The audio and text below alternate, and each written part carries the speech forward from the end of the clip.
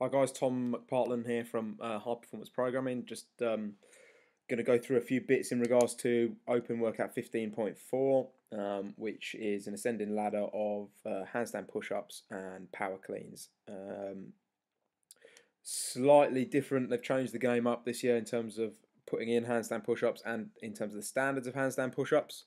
Um, obviously, uh, you need to check out the uh, standards video and definitely, definitely have a look at that in detail uh, in regards to the handstand push-ups, uh, in regards to the tape that they're asking you to put up and the measurements that need to be made there.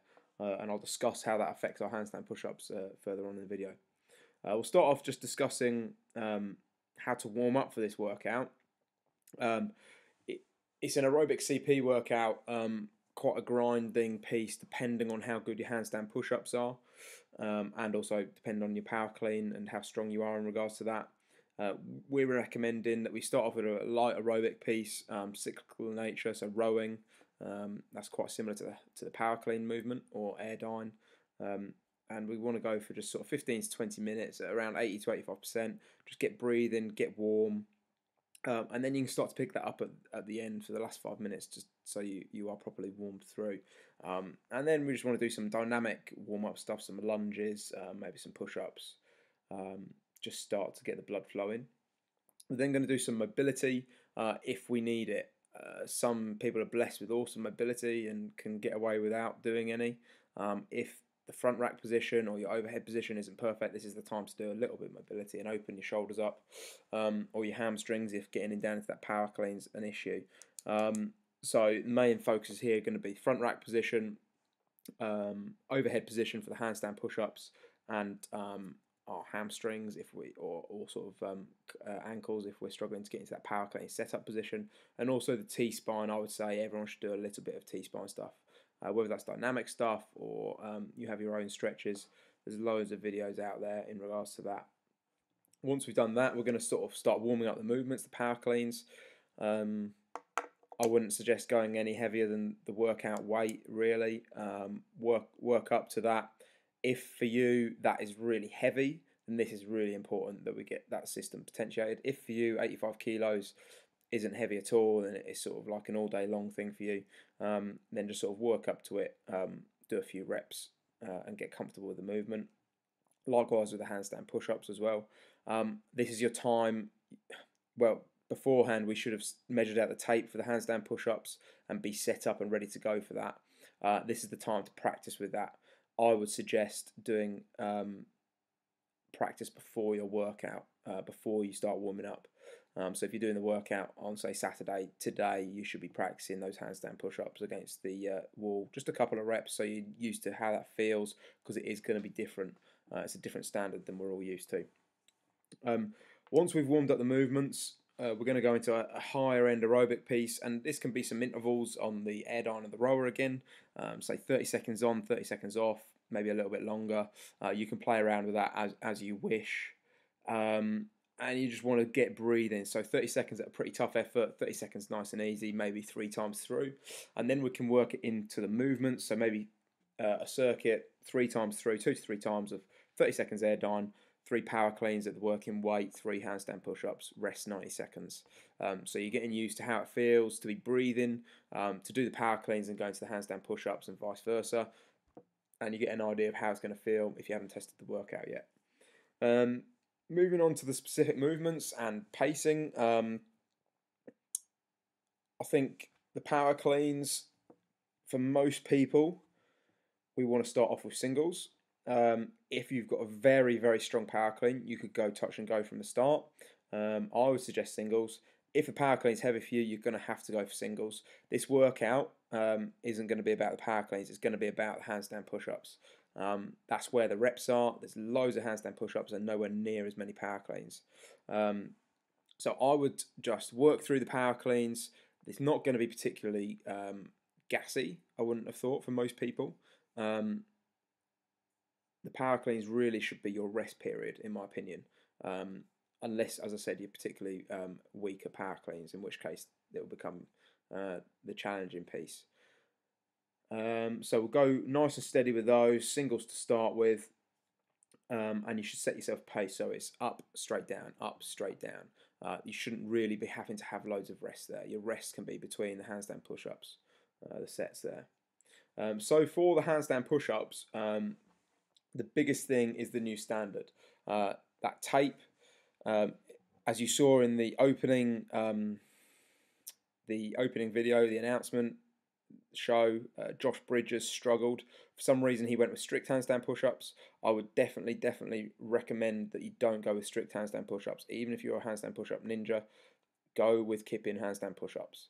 Um, you will last longer in the handstand push-ups, and they are the crux of this workout. Um, with that, you need to make sure you practice with the tape um, and be strict with yourself on the standards. I guarantee if you're looking to go to regionals and you've recorded every workout, this will be the one the most likely the video is called forward. And it's the one with the most scope for messing up on the handstand push ups. Um, there'll be a big difference between people who um, aren't strict on the handstand push up setup and the people who are strict. And and I, I think there could be some variations in the scores there. Um, so be aware of those standards, practice them, and um, make sure those heels are going above that tape. Um, in regards to that, you need to mark where your hands are. So practice handstand push-ups where you're comfortably getting the heels over. Put chalk on the floor or tape on the floor. Um, chalk your hands up and slap on the floor, whatever it is. Mark where your hands are so that when you're tired in that seventh minute, you're not missing reps just because your hands are out of place. If your hands are a bit wider, you're going to um, not get the heels over. You need to be at full uh, the sort of full full extension. Uh, for the handstand push-ups, don't burn out. That's the biggest thing. Rest and break them up before you need to. If you go to failure on a set, you are going to have to wait ages to sort of regenerate that energy. Um, so on the handstand push-ups, if you've got a max unbroken set of 20, normally you need to take that number down because the hand position is going to be slightly different. Um, and you need to be breaking it up before that. so you go to that sort of that one where you know it's feeling a little bit tough. That's when you need to drop down, not that one where you actually gr- you're grinding to physically finish the rep. Um, you've left it too late at that point, unless it's in the last minute or so, in which case it's just balls to the wall. Um, and all you need to do with handstand push-ups, um, you can either rest on your head like you saw Scott, Scott Panchik doing. You just take the weight out of your hands slightly. If you're very confident with that, obviously be aware of the risk to the neck when you're doing that.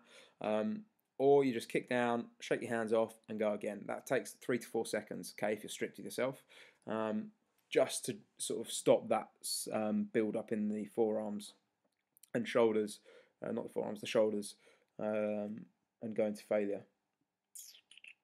Uh, so yeah, don't burn out. Take your time at the bottom. You saw Scott Panchik um, in the announcement workout just really taking his time through the handstand push-ups. He almost had a second's rest at the bottom of each handstand push-up and did like a double drive of his legs. Um, there's no need to rush this workout. Eight minutes seems like a short time. I guarantee you those handstand push-ups, eight minutes will seem like it's going on forever.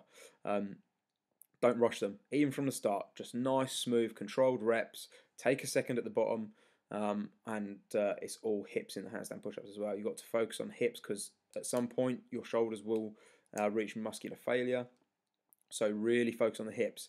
What video yourself beforehand and just look to see if you're pressing before your hips open. If you are, you need to delay that press out um, so that you're minimizing the work that the triceps and shoulders do. Um, to be honest, really with this workout, it's not that complex. It comes down to how good you are at handstand push-ups and how smart you are in the workout. Um, no matter how good you are, if you go to failure on that on that sort of like first four minutes, you're going to struggle. Um, if you're really good at handstand push-ups and you're someone who goes wide, you need to make sure you practice the standard. That's going to be the biggest thing here. Um, and be smart with that. Just go slow at the, at the beginning. This isn't going to be a gassy um, sort of real burnout workout. It's going to be one where people are grinding through it in the last few minutes. Um, and where some people will just reach muscular failure too earlier, too early, and um, struggle to continue. Um, in terms of any other advice for the workout, pace it as I've repeatedly said. Um, make sure the standards are, are, something you're comfortable with, and um, we'll go from there. In terms of repeating the workout, if you're someone who's going to be getting into the 21s or the 18s, you're doing an absolute load of handstand push ups. So be aware if you're not used to that volume of handstand push ups, you might struggle to recover. But if you're doing one attempt on Friday and then one again on Monday, and you're good with the volume, that's probably something you, you can do. Um, but I'd say doing them one the day after the other, or just with one day in between, um, especially if your uh, muscular endurance isn't that great, or you struggle to recover from high volume pressing. Um, just be aware of that. You're going to be doing a lot of that. It's not the power clean that's going to leave you tired and fatigued. It'll be those uh, handstand push-ups. Uh, it's a lot of reps. Um, that's it. Take care. Good luck. Um, if you want any more information uh, about personalized programming or any more detail on this workout, uh, give us an email at info at highperformanceprogramming.com. Cheers.